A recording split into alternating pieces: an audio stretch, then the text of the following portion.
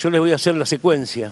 Sí. Nosotros ingresamos con el camarógrafo por este sector y desde este punto empiezo a ver la figura de una persona que quedaba este, nada de él, lamentablemente, y la bota.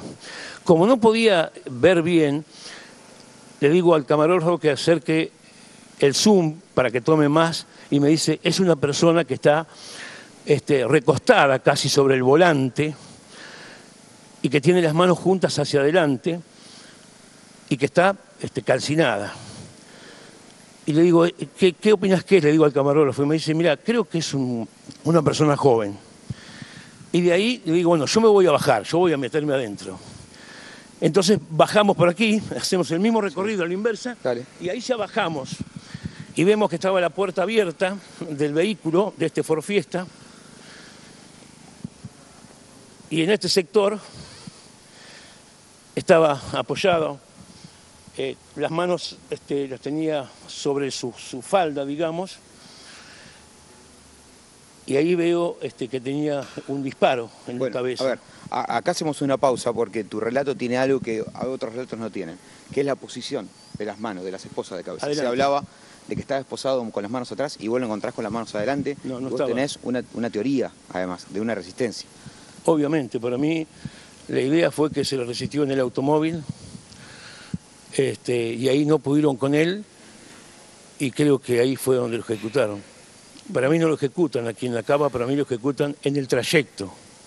Y aquí lo traen para deshacerse del cuerpo. Nosotros estábamos en este momento haciendo eso cuando yo le digo a un, a un policía que estaba detrás mío, que estaba muy nervioso, que incluso estaba al borde del llanto, estas esposas son de la policía. Era claro que eran de la policía porque yo he trabajado mucho en esto. Sí. Y eh, él, el policía gira y va y le dice a otro policía, a un superior supongo, lo que yo le había dicho.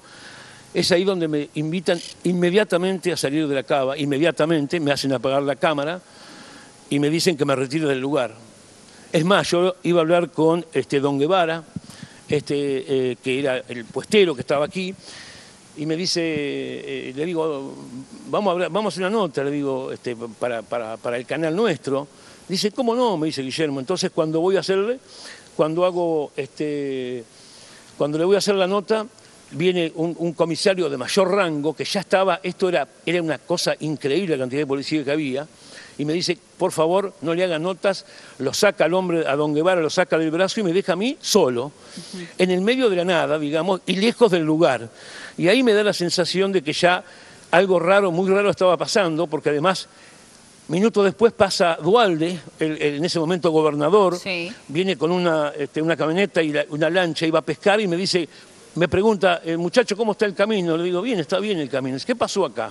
Le digo, acá le digo, hay un asesinato. ¿Cómo un asesinato? Sí, alguien está prendiéndose fuego. Bueno, le explico más o menos la secuencia y eso me, me- da la posibilidad de, de que, mm, creo que perdí el retorno, ah, me da la posibilidad de que este, él me diga, ah, bueno, bueno, y da la vuelta, hace unos metros, gira y se vuelve sobre sus pasos. O sea, esto me parece que fue una cosa muy extraña, muy extraña. A partir de ahí me di cuenta de que algo grave había pasado, algo muy grave estaba pasando, porque después aparece el comisario Gómez en ese momento, este, en un 405 negro como se lo viera, me ve, este, no tenía buena relación conmigo desde siempre, y cuando me ve, este, eh, inmediatamente él este, eh, gira sobre sus pasos, se mete en su vehículo y, regresa eh, a, a Pinamar.